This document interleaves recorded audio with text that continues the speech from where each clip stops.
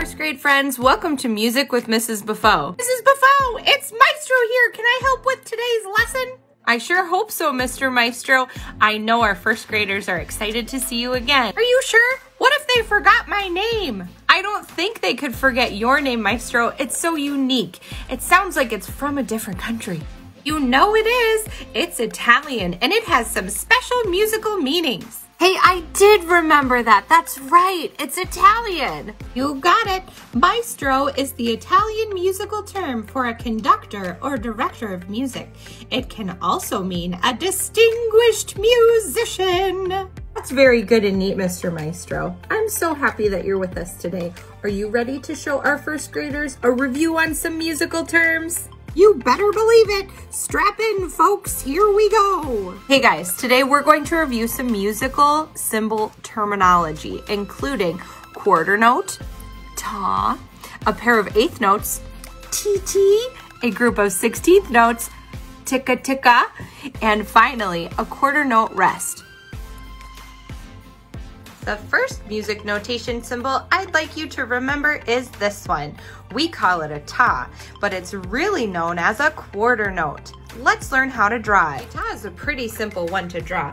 It's made up of two main parts. We have the note head, which is the circle, and the stem. Which part comes first? If you remember from kindergarten, the stem comes first. It's a straight vertical line that starts at the top and goes to the bottom.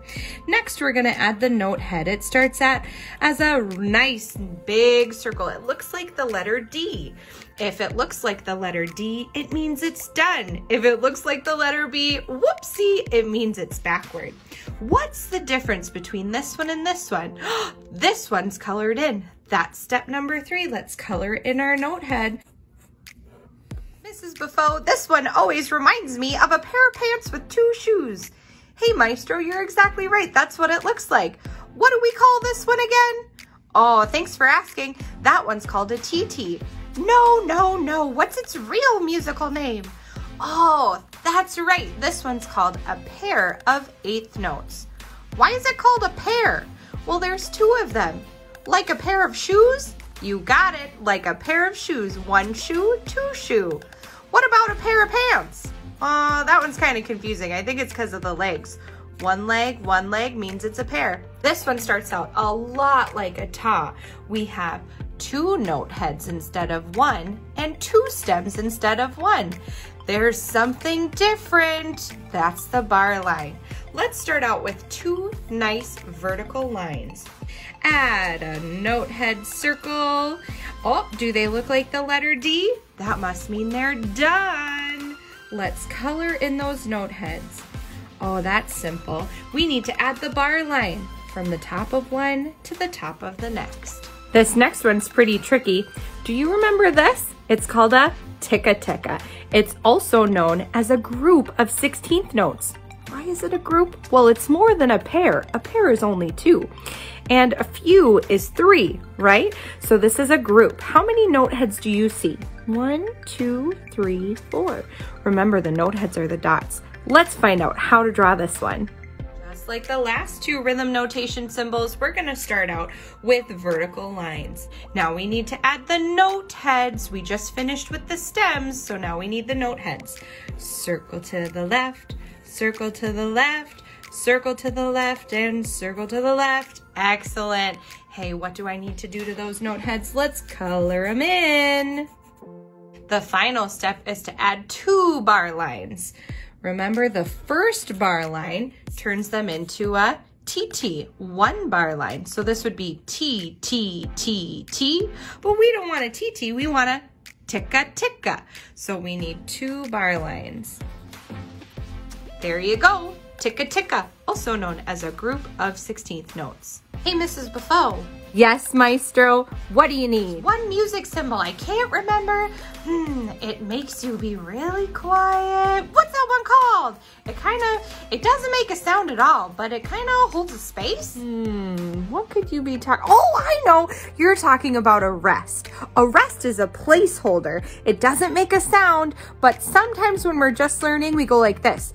Shh in its place. Let's talk about a rest. We're gonna start off with a little angle, just like that.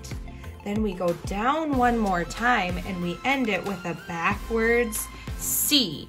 That's gonna be our quarter rest. Okay, friends, let's get to the fun part. Let's make some rhythms. Okay, are you ready for our first rhythm? We're using two different notation symbols. We have a ta and a tt. Let's see if we can do it together. A one, two, ready, go. Ta, tt, ta, tt. Let's try that one again. Ready? One, two, ready, go. Ta, tt, ta, tt. Okay, here's another one. This time we included the ticka tickas. Let's try it together. A one, two, ready, go. Ticka ticka t t, ticka ticka ta. One, two, ready, go. Ticka ticka t t, ticka ticka ta. Okay, let's try this one together. One, two, ready, go ta, ti, ti, ticka, ticka, ta. Oh, if that was too hard, it just means we need to practice, which means learn again. One, two, ready, go. Ta, ti, ti, ticka, ticka, ta. Here we've got that quarter rest. We're gonna place hold it today with the sound shh. Let's try this one together. One, two, Ready, go. Ta, sh, ti, ti, ta. Let's try it without the shush sound. Let's see if you can do it without making a sound at all. One, two, ready, go. Ta, ti, ti, ta. Was that too hard? If it was too hard, let's practice it one more time. Ta, T, T, ta.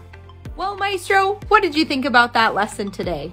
I think our first graders sure know their stuff. Thanks so much for watching Music with Mrs. Beaufeaux. You guys have been grand. I can't wait to see you back in my classroom. Today we talked about maestro's name, which means a distinguished musician, a conductor, or a director in Italian.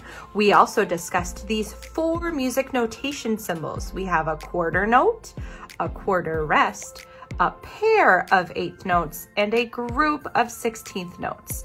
What are their nicknames? We have ta, sh, tt, and ticka ticka. Thanks for watching Music with Mrs. Beaufeaux. I hope to see you soon.